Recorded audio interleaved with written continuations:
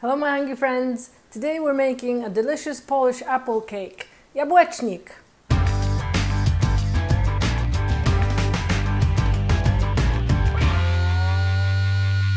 Welcome back to Polish Kitchen. My name is Anna and today I'm going to teach you how to make a delicious Polish apple cake called jabłecznik. This is a recipe that was published in uh, a mini book that I published, self-published last November and it's a mini book called Polish Kitchen Book of Memories Christmas Edition. And in it, I talk about um, a little bit about uh, the traditions of Christmas, and I also list all of the dishes that my family normally eats at Christmas. So it's about 30 recipes um, in here, and we have uh, Christmas beetroot soup and mushroom filled um, dumplings that go in the beetroot soup and mushroom soup and cabbage and peas and others. And one of them is this delicious apple cake called jabłecznik. I'm just looking, oh, there's a picture of it. And it is delicious. Mm Recipe posted on my blog, polishyourkitchen.com, and I'm uh, posting a link to the recipe under this video. So let's get to it. I have um, ingredients for my crust ready and so I have um, a cup of powdered sugar, two yolks and one egg white and the second egg white I have separated for uh, to top our crust uh, before baking. And I have baking powder and two and a half cups of flour. Oh, and uh, zest, we're gonna zest the lemon, about half of this, this lemon. And I have butter in the fridge. I will come get it. I will go get it. The key is to keep your butter cold. We want this crust to be nice and flaky and uh, the little bits of butter will, while baking, will kind of melt into the crust and make it nice and um, soft and flaky. So we're going to start by putting our eggs in our mixing bowl and I'm going to put a pinch of salt in here too. And I have a cup of powdered sugar. So we're going to beat this together until fluffy. Fluffy!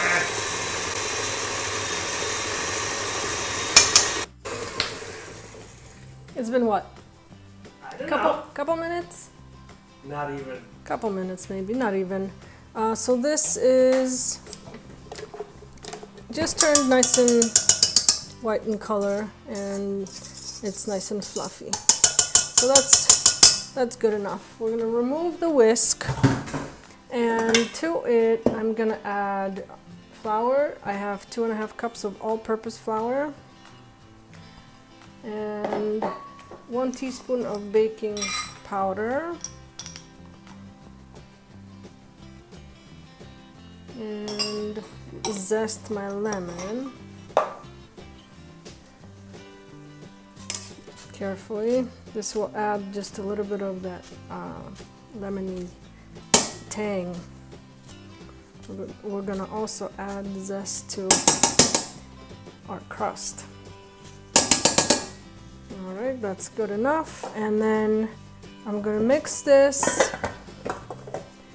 just on for a couple of turns just to get the whites, uh, eggs and egg whites in there a little bit.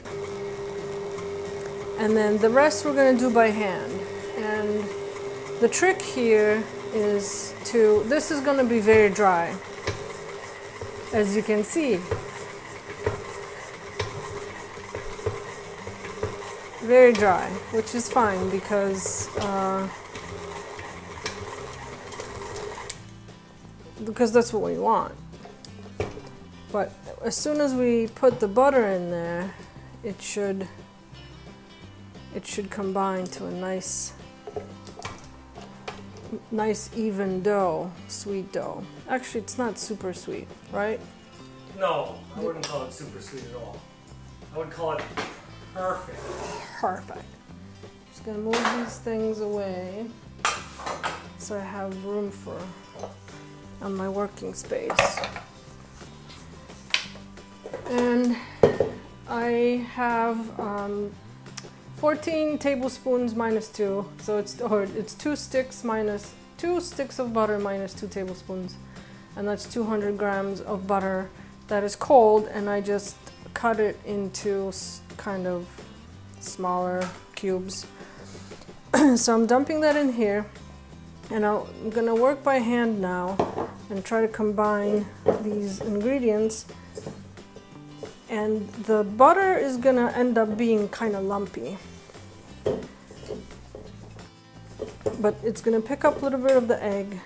And if the lumps stay that's fine as long as we can create a dough that kind of will roll out. It's already combining a little bit and as soon as I can get a little bit big a little bit uh, firmer ball I will transfer this onto my surface and kind of work around. So this apple cake in Poland, there's kind of two names for different apple cakes. Uh, one is szarlotka uh, and one is jabłecznik. And szarlotka is mainly uh, the cake that is made on this kind of crust. So this kind of crust we call uh, ciasto which means crumbly. And it, it's mainly butter, uh, eggs, flour, and powdered sugar. And um, jabłecznik will be a cake that can be done with any other, with apples. They're both apple cakes with different types of dough. So this could be uh, ciasto biszkoptowe, uh, which is mainly eggs, and it could be drożdżowy, which is yeast cake. So it kind of depends. And this is starting to form. So I'm just gonna kind of, I, I, don't want to knead this. I just want to, for it to combine into a ball so I can refrigerate it for, for a little while before baking. And when, when my grandma used to make this, she would start with a pile of flour on her work surface and she'd make a hole and add eggs and then kind of start from there. I like doing this. Do you remember eating this cake by grandma? I do. It's one of that and rosół are the two memories I have culinarily of Babcia Babcia is uh, my grandma on my mom's side. And she is, uh, she was my culinary inspiration. She passed four years ago, and here we are. Should be proud to know that we're cooking her recipes. Okay, so this is kind of where I want it to be. Maybe just a little bit more, but you don't want to be adding any more flour to this because this is the, the dough needs to kind of be wet like this. and in just a minute I show you how you can still see kind of bits of butter in it. So this is what I was talking about. You kind of want to see it in there. A lot like making uh, biscuits. I like making biscuits, yeah for the American community who bakes. Kind of like. You know, like biscuits and gravy. Biscuits and gravy. You want to see the, yes. the butter in it. So this is, yep, this is close enough. I don't know if you can see, but there's little bits here and there. So that's good enough. We'll roll it out later. We want this to uh, cool in the fridge pretty good. So we'll put it in the fridge for, uh, I guess as long as it will take us to make the filling. So I will wrap this, clean up and see you right back. And on to our apples. We're gonna wash, peel, and core about 10 apples. Um, I have about seven because mine are kind of big. Um, and I like using a kind of a sour apple and when I lived in the United States, I normally used uh, Granny Smiths because I, I like the texture of them. They're nice and hard and nice and tang and sour. So I would use those if you can, unless you have access to any other sour apple. Here in Poland, um, I often use either apple called papirówka, which I'm not sure there's a American equivalent. They're they are relatively small and kind of all green, light light green apples. My mouth's watering. we had a apple tree like this in my in my grandma's garden. Uh, they were tiny apples, but there were just tons of them. So my grandma would, grandpa would pick them, and then she would core them and actually prepare the filling for this apple cake ahead of time like this. And she would store the jars in the basement cellar for the winter and we had this cake probably every weekend. She would open a couple jars and her half of her work would be done. You can do this ahead of time also. I would use my filling that I have in a jar, but then I couldn't show you how to do this. So we're going to peel these and um, once we're done with peeling, we'll shred them. Last step, we're gonna, last to the second from the last step is to shred the apples. And I've shredded most of them and I have them in my pan here heating. And idea is to cook off some of the uh, moisture out of them so then when we put them on top of our dough, it doesn't get all soggy. Keeps the dough nice and flaky. Uh, and to it, we're gonna add a little bit of cinnamon and just tiny bit of sugar, especially if you're using a tart apple. Just added a just tiny bit of sweetness, but it's not a, as I said before, it's not a sweet cake. So here's the apples. And if you were to prepare this ahead of time, you can put it in your jars and just seal it as your jar manufacturer, you know, recommends. Either boil it or bake it, however you prefer. Depending on the size of your jar, it'll tell you how long to cook it for to kind of seal your jars. So this will definitely reduce for us. And this recipe is for um, a 9 by 9 inch pan. So it's not super super big but it's gonna have a nice thick layer of apples is what we want so I'm gonna add to this uh, a quarter teaspoon of ground cinnamon and just a quarter cup of sugar. Just regular white sugar will do. Mine is brown because everything's different in Poland. And I think I'm just gonna add an eighth of a cup because these apples seem a little bit sweeter to me. And I don't want this to be too sweet. My cameraman is sick. I'm sorry. And he has to work even though when he's sick because he doesn't have any insurance. I'm joking. so we're gonna give these. Oh, I want to put a little bit of lemon in here too. You're supposed to remind me. Put lemon in it. So I'm gonna zest about half a lemon. Watch your fingers.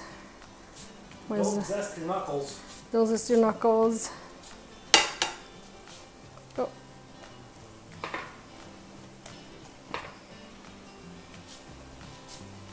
And we're going to put just a little bit of lemon juice in here. So we, sh we shredded these on the largest, um, how, where, how do you say this? We call, we call it on the largest eye. Uh, I would say on the largest grape. The largest size grape. Yeah. Just a hand grape. Yeah. And these are starting to get the juices flowing, which is the idea. We don't want this to be mush, complete mush like applesauce, but we want them to be cooked and the moisture out. So kind of depending on your stove. My super fast and professional camping stove seems to be doing the job and it's working fast. I have a cut on my finger and the lemon the found lemon it, huh? found it, yes.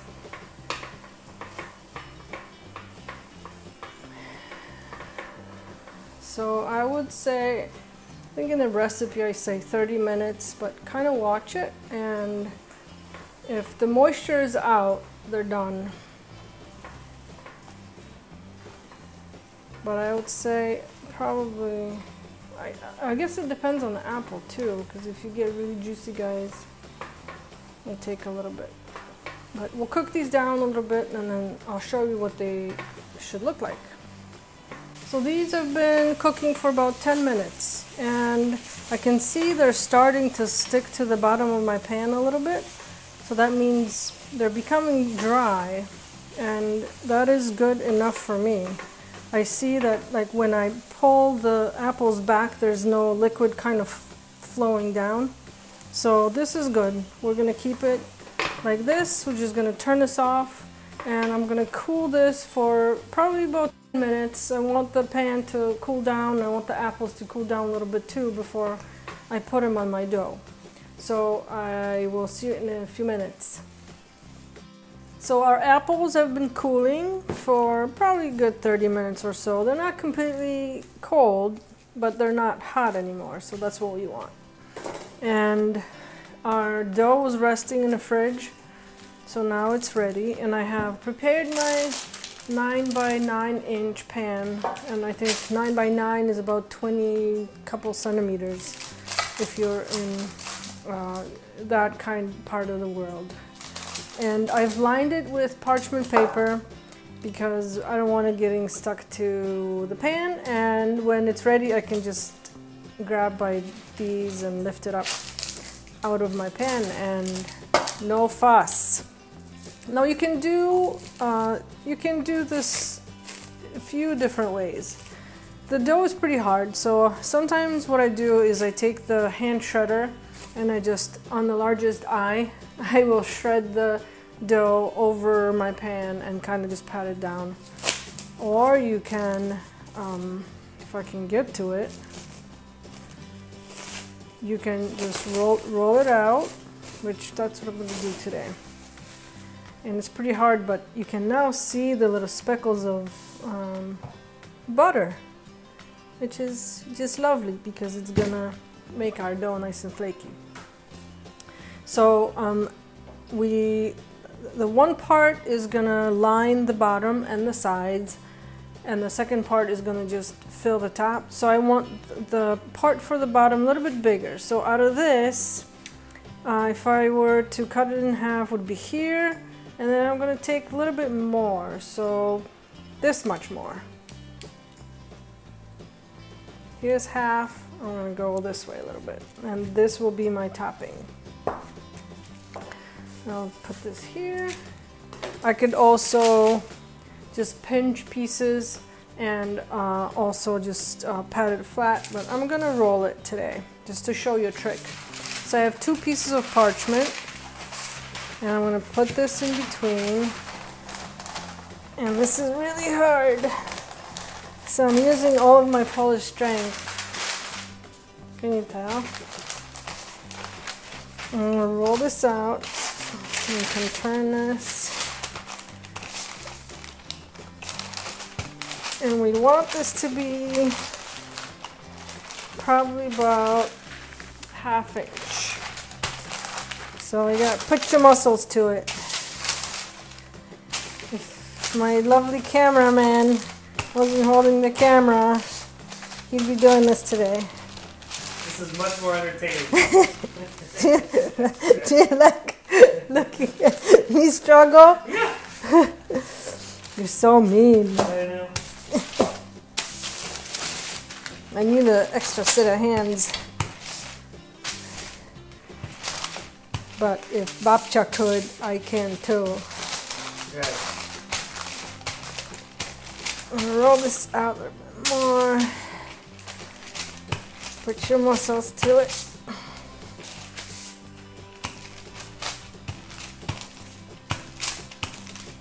This is calling for a disaster.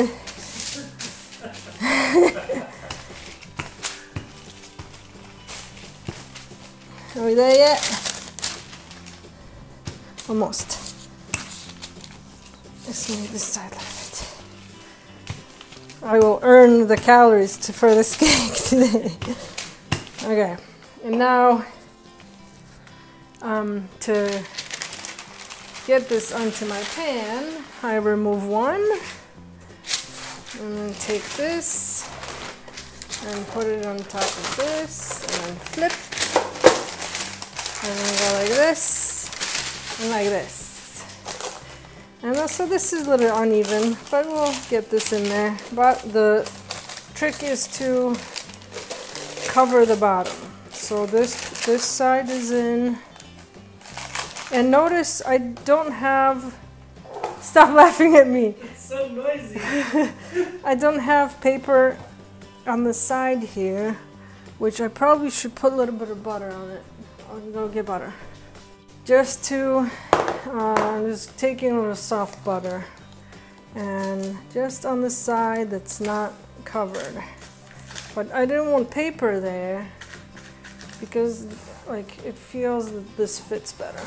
So now I'm gonna put push this in here and then this stuff that's the dough that's coming off to the off of the edge I'm just moving to where I don't have any.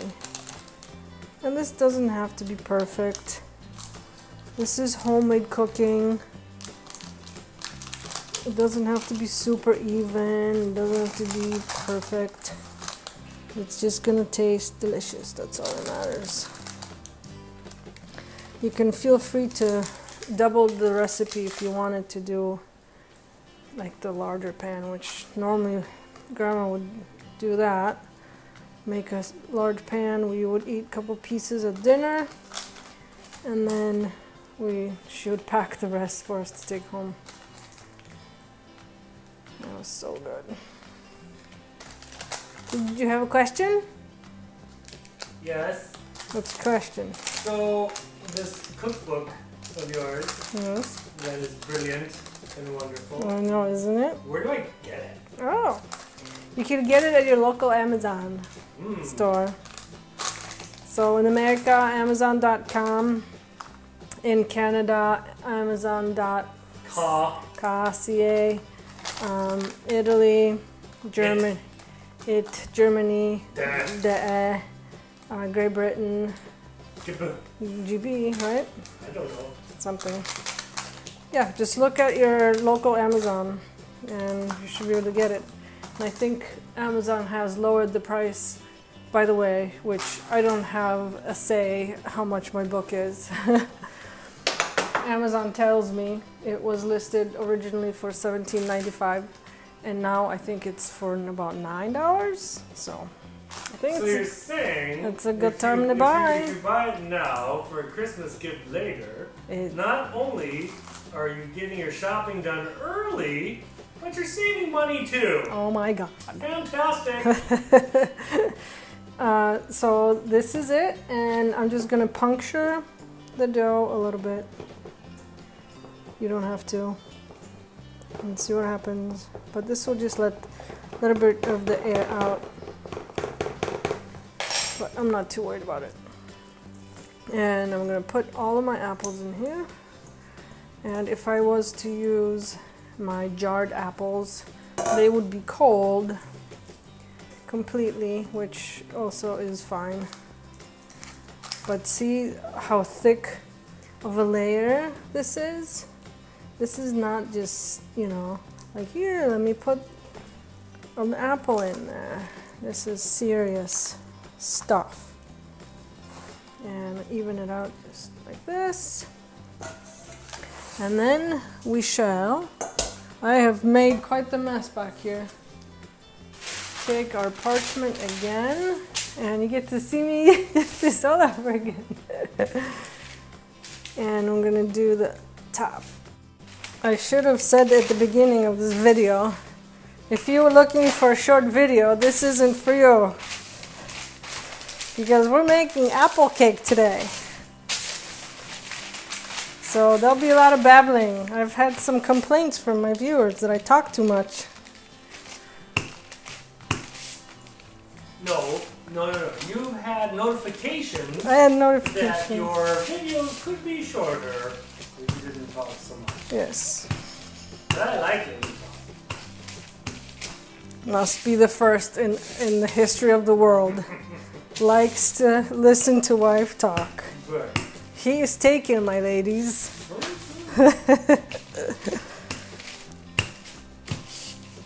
I have my oven on uh, three, uh, no, what is it? 180, 350? 180 Celsius, 350 Fahrenheit. I think it's hot now. I think this is pretty close. And again, this is gonna go on top.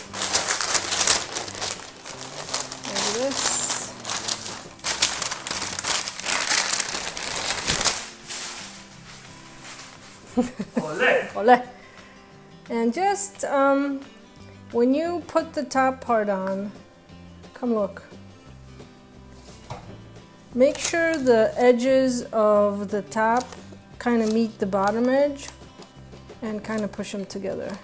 But this dough is pretty sticky, so you shouldn't have trouble sticking, well, having them stick together. We'll make an edge here in a minute, but just so they are touching.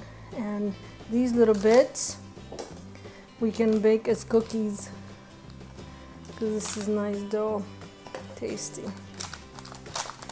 And you can get fancy with your edge if you want it. I normally just kind of pinch it so there's somewhat looks like someone, you know, cared when they were making this. But I also like these kind of rough edges because it shows that it's homemade.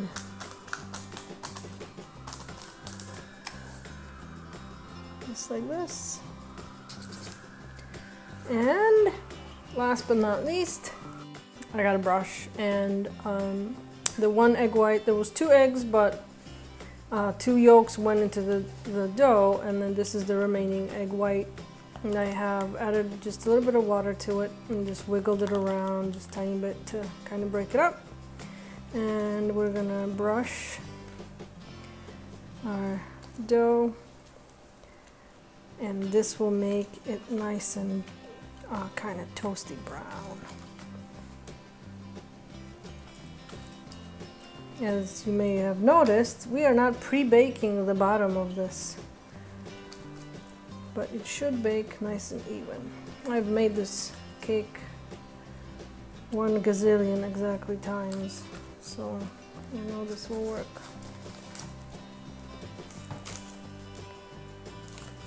All right, and this shall go in the oven for about 45 50 minutes, just depending on the oven. If I turn my convection oven on, it'll be a little faster. But I kind of like to keep it at a normal oven, non-convection type, uh, because I want the, the, the bottom and the innards to cook evenly too. So I will tell you, no, I will see you when this is at the oven. In she goes. My cake has been cooking, baking for 45 minutes. I covered it with tin foil about halfway through. That's Wisconsin for through. Because I didn't want it burning. And ta-da! It's also been cooling on my counter for 10 minutes. But it is, I can't take it anymore. So I'm gonna, op I'm gonna open it. Open the cake. You're gonna open it. And this is why I like to do it on parchment because you can just onto a cutting board. Hot, hot, hot, hot. And we are ready. Yes. It smells delicious in here. Crust is so nice and flaky. And look at our thick apple filling. I love corner pieces. How about you? They are my favorite as well. Are they? Mm-hmm. Oh, I did not know that. crust on it. Yes, you do. Look at this. The dough, the dough looks like it's nicely cooked all the way around it, and see how a nice thick layer of apples. You can, you can do less apples if you want to, but why would you? I'm gonna try to not to burn my face, and take a little bit of the apple. Mmm, it's so good. It's not overly sweet, and the dough is nice and crumbly. Look at it, it's just so soft and it's delicious. I hope you try this Polish cake. You can put ice cream on it too, right? Oh yeah. I hope you make it. I hope you check out my book.